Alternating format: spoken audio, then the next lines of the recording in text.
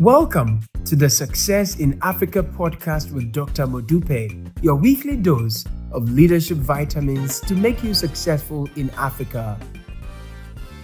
Hello and welcome to the Success in Africa podcast, episode 14. My name is Dr. Modupe Pearce, and I am a scholar and practitioner of leadership and organizational development. Simply put, I study what makes people successful. I have been studying this for three decades with a particular focus on people in Africa. And in this podcast, I will share stories, lessons, and insights about people having success in Africa. Why this podcast? Because I am sick and tired of Africa being the poorest continent in the world. We are blessed with the greatest resource young people. Africa will soon have the largest number of working age people in the world. And when these people achieve success, Africa's wealth will be unparalleled. Why? Because I don't know of too many Africans whose goal in life it is to die poor. Success in life is simply the achievement of a predetermined goal, whether that goal is creating employment for 10,000 people or transforming your country into a high income country, this podcast has been created to help you to achieve it. So, if you are serious about achieving success in Africa, I want you to subscribe to this channel. If you like this video after you have watched it, please click the like button. This podcast is brought to you courtesy of BCA Leadership the largest leadership enhancement company in Africa. If you have questions that you want me to answer after watching this video, log on to BCA Online, the link is on the screen, and post your questions there.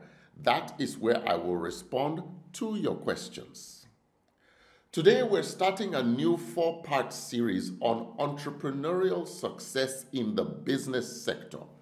Remember, there are entrepreneurs in the non-profit sector. You know, people who start new non-profit organizations like church founders, mosque founders, CBO founders. We will explore non-profit successes a month from now with a four-part series on success in the non-profit sector. But for this month, we are focusing on people having success in the for-profit or business sector. Today's success tip is based on resilience. And the key message is this where there's a will, there's a way. Let me say it again. Where there's a will, there is a way.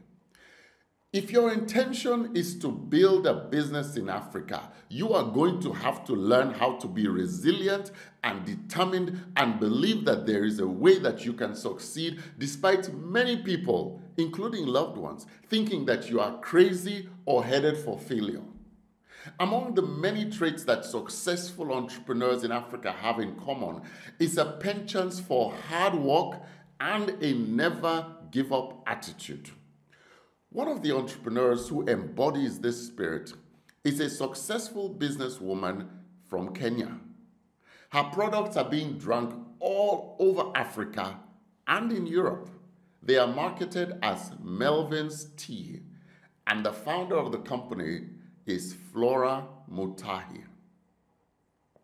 Flora grew up in a traditional Kenyan home where the fathers expected their daughters to get an education so that they can get a nice, stable job and be more eligible for marriage.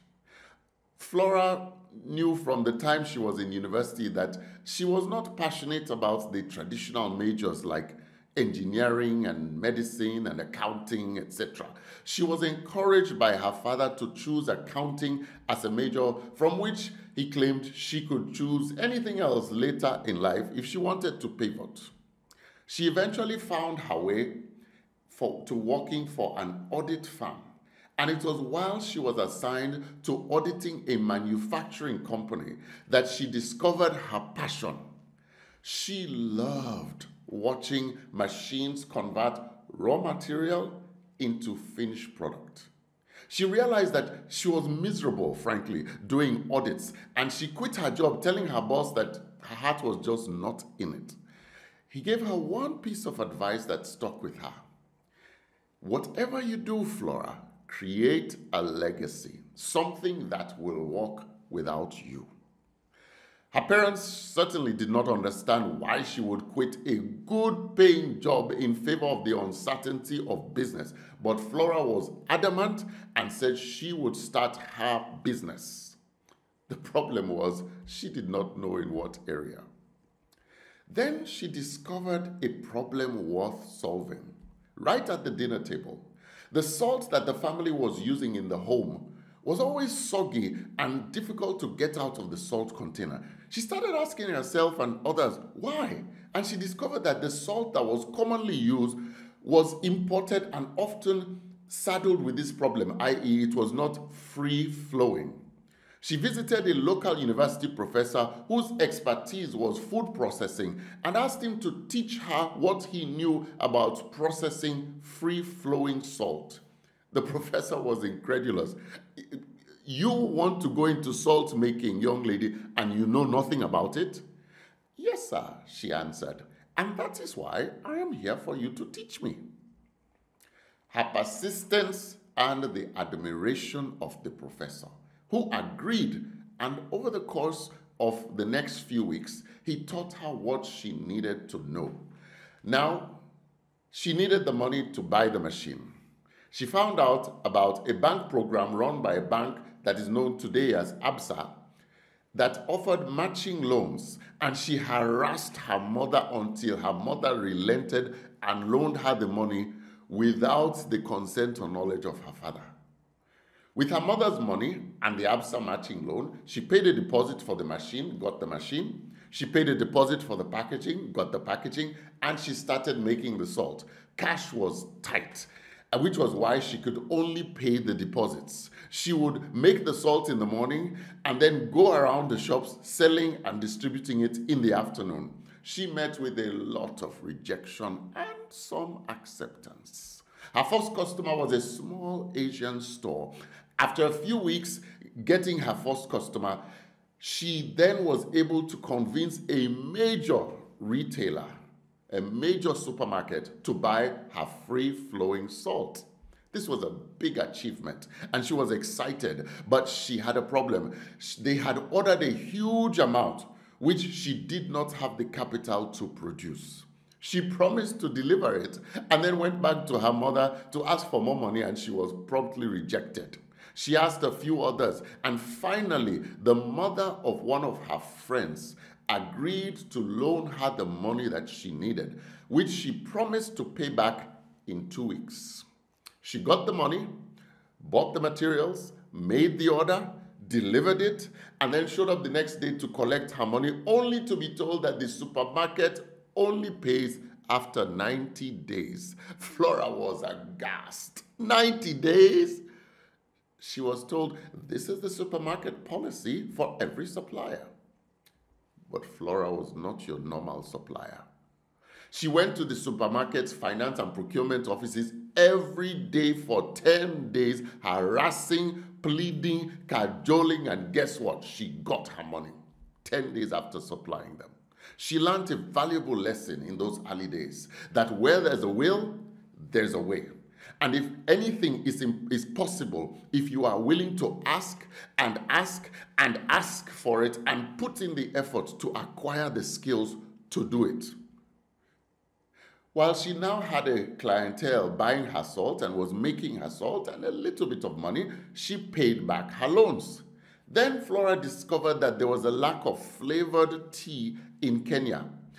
At the time, most of the tea available was plain tea, partly because there was a monopoly on tea production in Kenya supported by government policy. So when this policy was changed, Flora decided to jump into the making of tea. Once again, she knew nothing about how to make tea, but she knew what to do. She contacted her food professor again, went through training, and started making her own tea, experimenting with mixing ginger with the tea, and the resulting tea bags were liked by the customers who tried them. She then decided to attend a business development training program called Business Growth, because she recognized that while she had learned how to manufacture the products, there was a lot that she did not know about running a business. Once again, she did not have the money for it, but she cajoled the organizers into letting her in with just a small deposit paid and the promise to pay the balance later. This program helped her to understand costing, sales, marketing, logistics, and other important areas of business that she needed to make her business successful.